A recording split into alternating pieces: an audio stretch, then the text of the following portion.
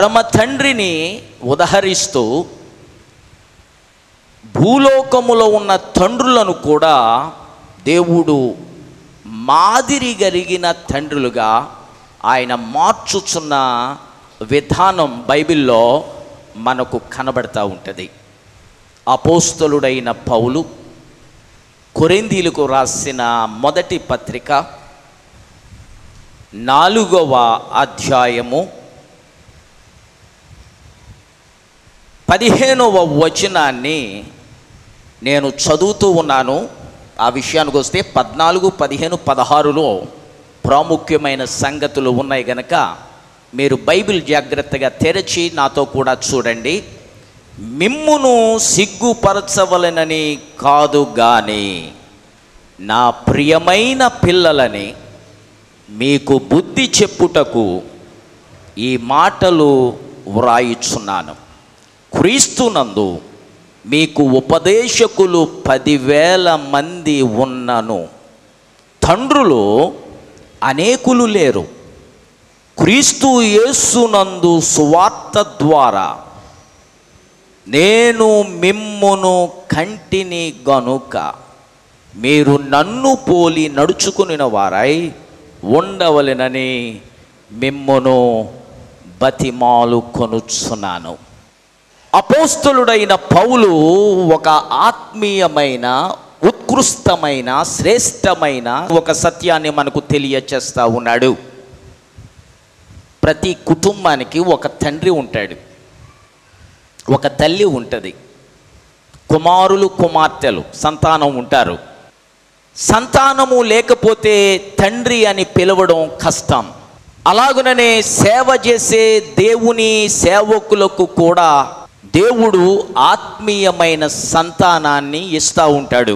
ఆ ఆత్మీయ సంతానాన్ని ఆత్మీయ కుమారులు కుమార్తెలు అని పిలవడం అంతేకాదు దేవుడు ఒక వ్యక్తి ద్వారా ఒక సేవకుని ద్వారా ఎవరినైతే రక్షిస్తాడో ఎవరికైతే ఒక సేవకుడు బాప్తీసం ఇస్తాడో దేవుని వాక్యమనే పాల చేత పెంచుతాడో జీవాహారము పెట్టి అనుదినము వారి యోగక్షేమము కొరకు పాటుపడతాడో ప్రార్థన చేస్తాడో దేవునిలో వారి జీవితాలను కడతాడో దేవుని యొక్క గృహముగా విశ్వాసపు గృహముగా మారుస్తాడో ఆ వ్యక్తిని లేకపోతే ఆ సేవకుని ఆత్మీయ సంతానం ఆత్మీయ తండ్రి అని పిలవడం మనకు కనబడతా ఉంది.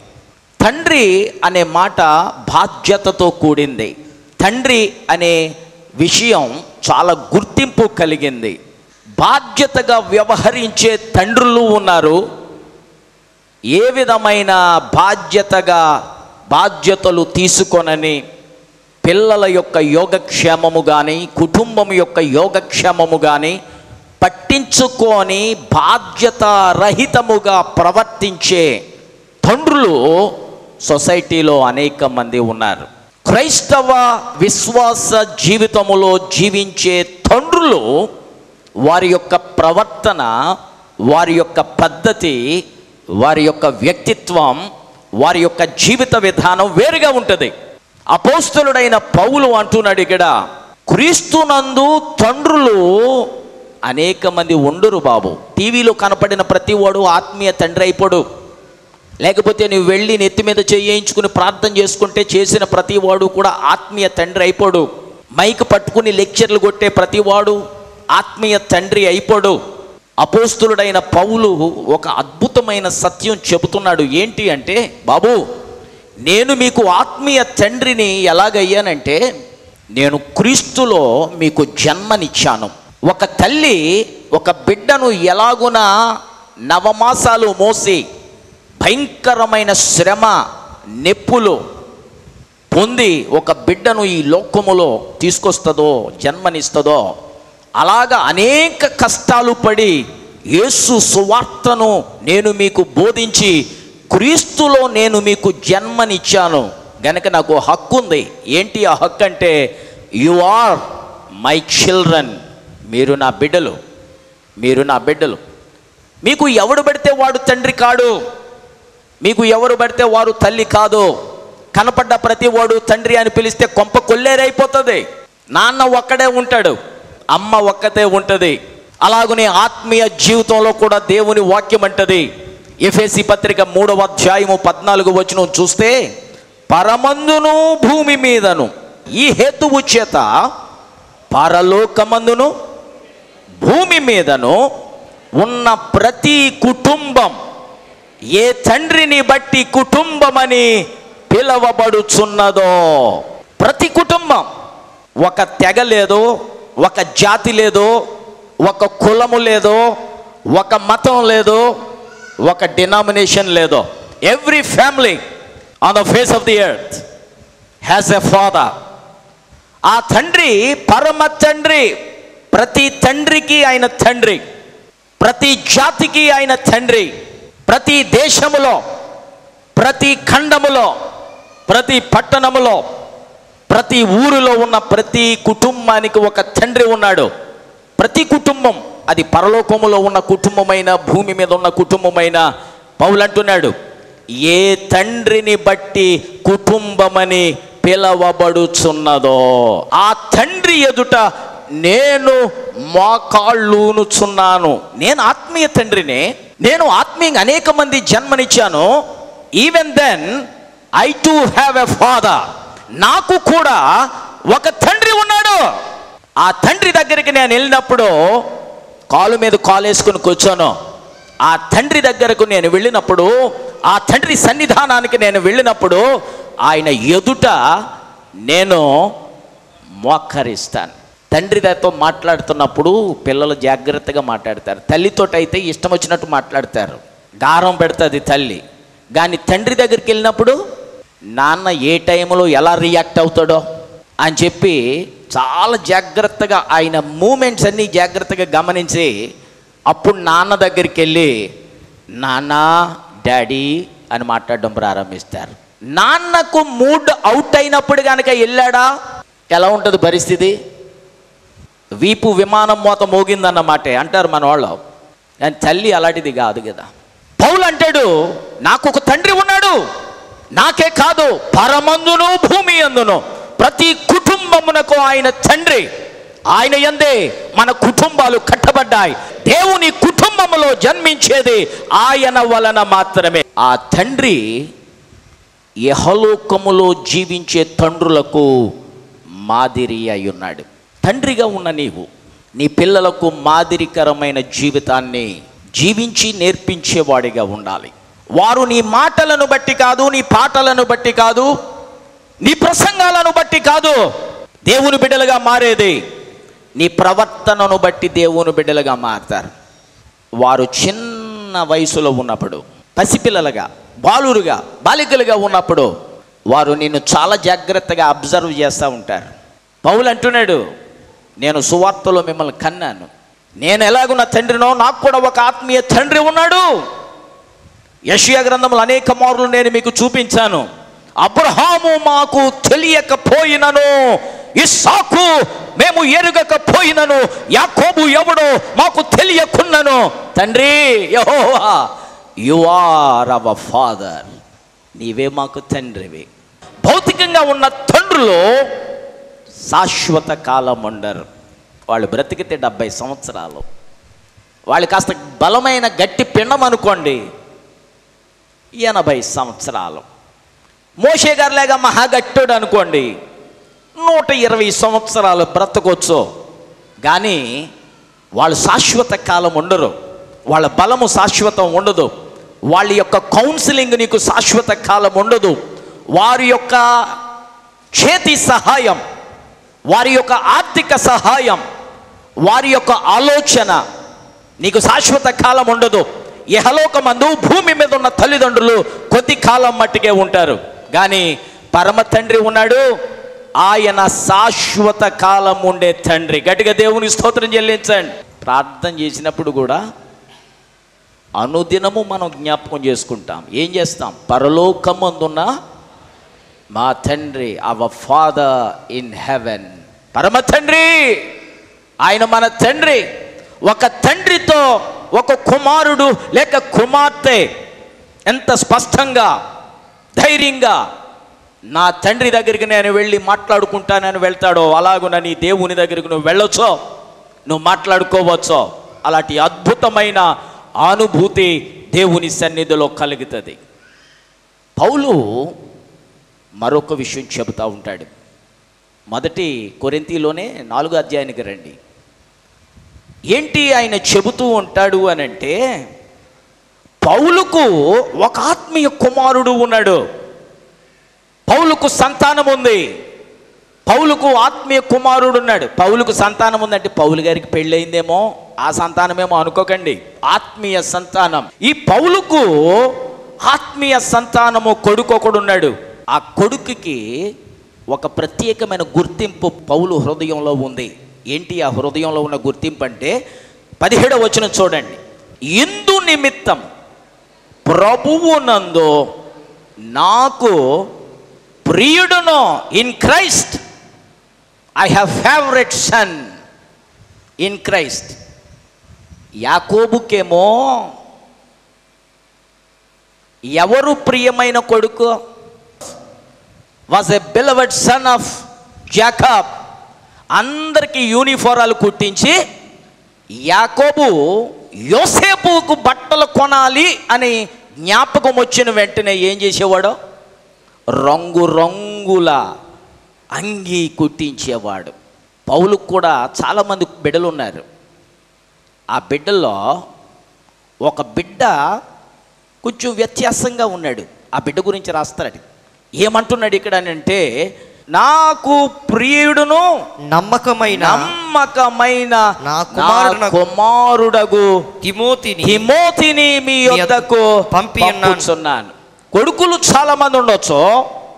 విశ్వాస యాత్రలో ఆత్మీయ యాత్రలో దేవునికి పరిచర్య చేయడంలో చాలా మందికి బాప్తిసాలు ఇచ్చి ఉండొచ్చు. చాలా మందికి వాక్యం చెప్పుండొచ్చు చాలా మందిని దేవుని సేవకులుగా తీర్చి దిద్దుండొచ్చు దేవుని సేవలో పుట్టిన ప్రతి ఓడు యోగ్యుడుగాను సమర్థుడుగాను యథార్థవంతుడుగాను నమ్మకస్తుడుగాను ప్రియుడుగాను పౌలుకు ఉండలేదు.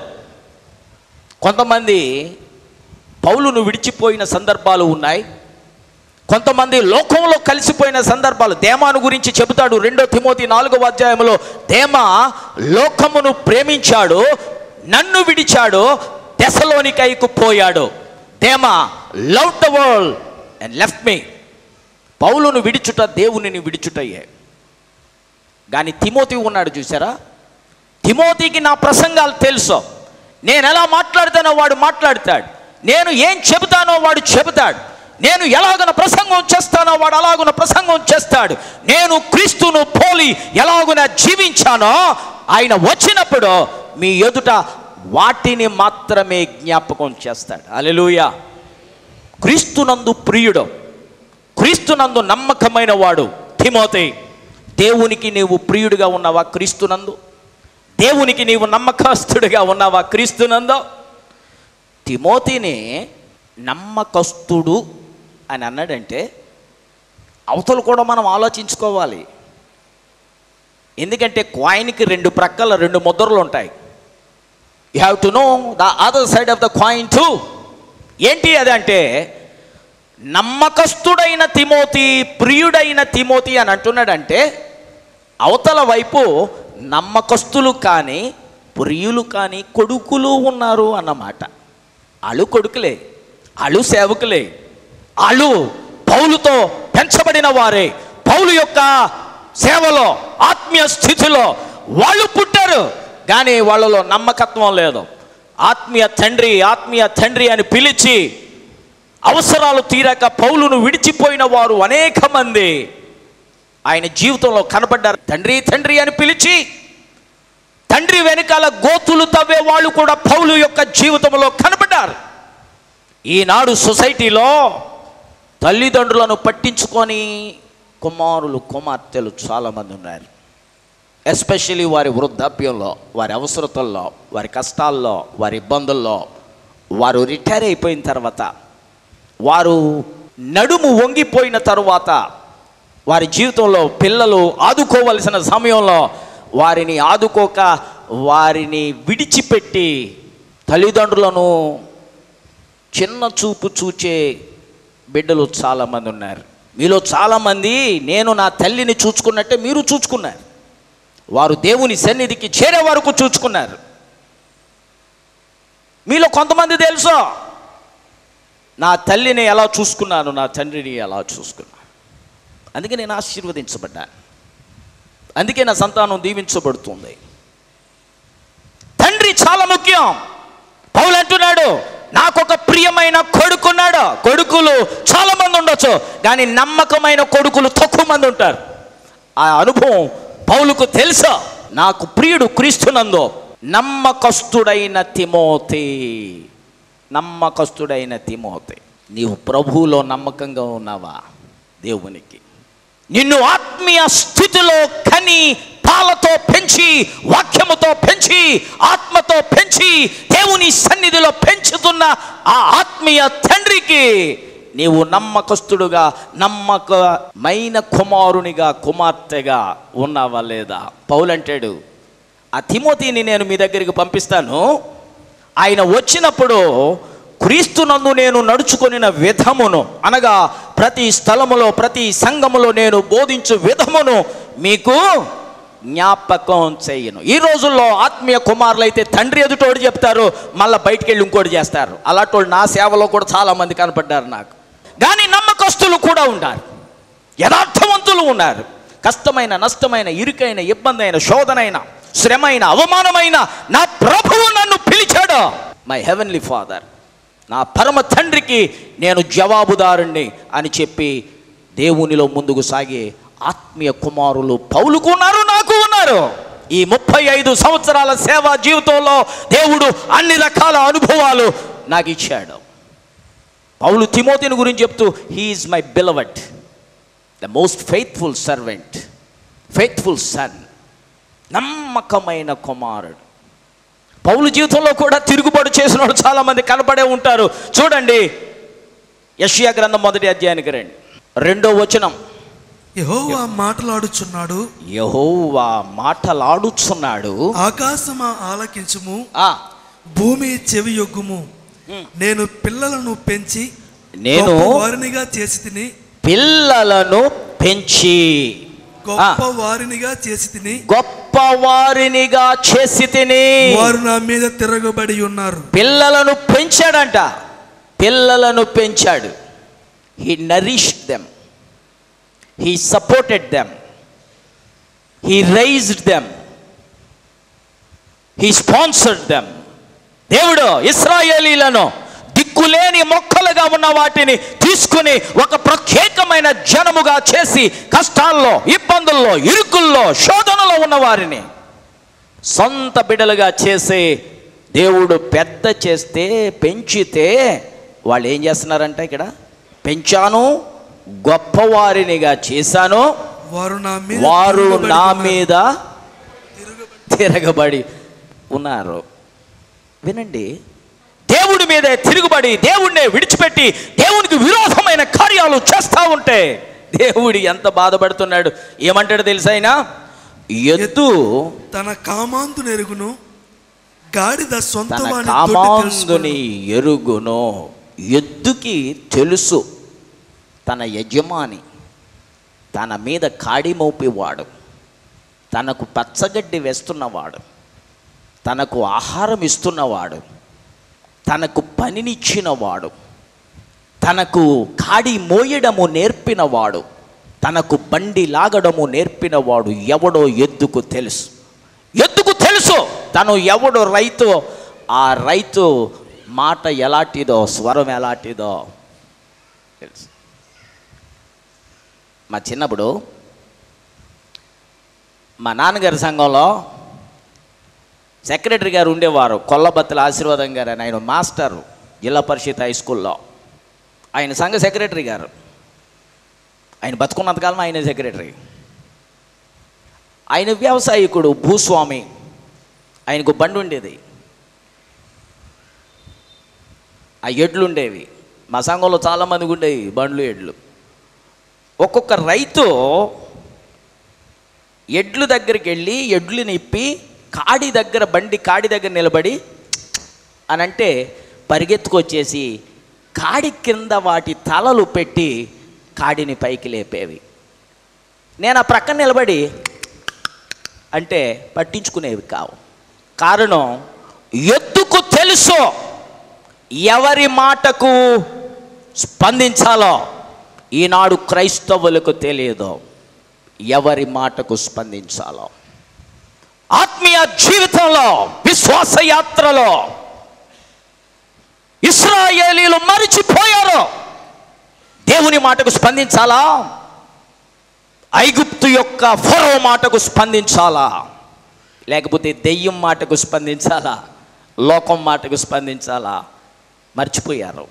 They forgot why because they rebelled దేవుని మీద తిరుగుబాటు చేసి దేవుడి స్వరం మర్చిపోయారు. ఇప్పుడు దెయ్య స్వరమే దేవుడి స్వరంలాగా వినపడుతుంది. ఈ లోకంలో దొంగలు దొరలుగా చలామణి అవుతున్నారు సేవల్లో.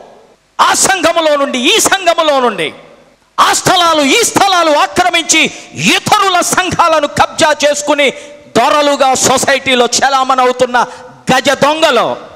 అందరూ కలిసి ప్రార్థన చేస్తే ఉద్యమం వస్తుందా? రాదు. శ్రమలు వస్తాయి. కష్టాలు వస్తాయి. ఇరుకులు వస్తాయి. ఇబ్బందులు వస్తాయి. పౌలుక సత్యం తెలుసు. అందుకని సంఘాలకు పంపినప్పుడు నమ్మకమైన తిమోతిని పంపుతున్నాడు. ఎద్దుకు తెలుసో? తన కామాంగుని స్వరం. నీకు తెలుసా నీ ప్రభు స్వరం? నీకు తెలుసా? ఆదామునకు వినబడిన స్వరం. తముయేలుకు వినబడిన స్వరం. ఈరోజు నీకు వినబడుతుందా? ఈరోజు నీకు వినబడుతుందా? ఇస్రాయిలీలకు వినబడడం లేదు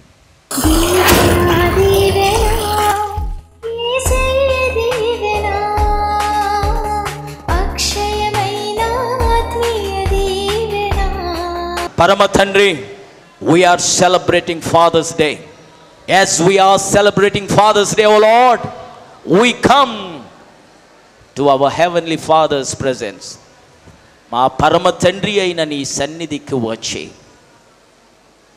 మా హృదయమార నూరార తనివి తీరా ఆశ తీరా నీ సన్నిధిలో నీకు దండం పెట్టుకుని మా బిడ్డల కొరకు మా ఆత్మీయ బిడ్డల కొరకు నీ పాదాలను పట్టుకుని మేము బ్రతుములాడుతున్నాము తండ్రి. వారిని దర్శించు వారిని మండించు వారిని వెలిగించు వారిని ఆశీర్వదించు.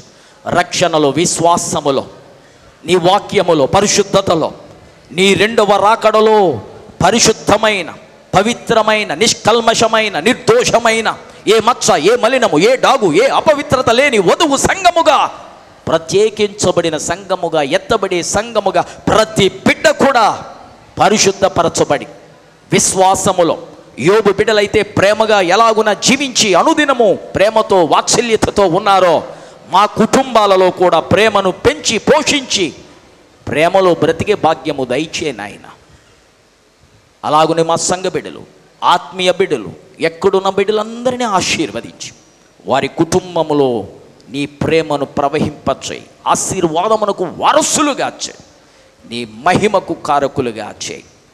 నీ మహిమను నీ దర్శనములను నీ ఆత్మాభిషేకమును భూసంబంధమైన పరసంబంధమైన దీవెనలను మెండుగని బిడలకు దయచేయండి. ఏసునామము నడుగుచున్నాము మా పరమ తండ్రి. తండ్రి కుమార పరిశుద్ధాత్మ దీవెనలు బిడలార మీకు నిరంతరము తోడయుండునుగాక.